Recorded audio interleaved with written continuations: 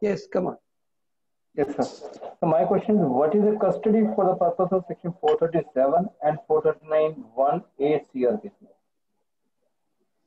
See, while in the case of an anticip- a, an application under section 438 CRPC, that section enables a person to arm himself with an anticipatory order for bail in the event of his apprehended arrest.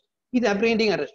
Therefore, he he will arm himself with an order under section 438 to to, to with a, that will be a direction to the arresting officer to grant him bail in the event of his in the event of the apprehended arrest. And in the case of all other cases of offense where he is in custody, the word custody for the purpose of the bail need not necessarily be custody pursuant to an order of arrest by an authority, including the police. It is enough if such person sub- voluntarily submits himself to the custody of the court and applies for bail. So 437 and 439 presupposes that the person applying for bail should be in custody. That custody need not necessarily be in pursuance of an arrest. It is enough if the person who seeks custody submits voluntarily submits himself to the custody of the court and applies for bail.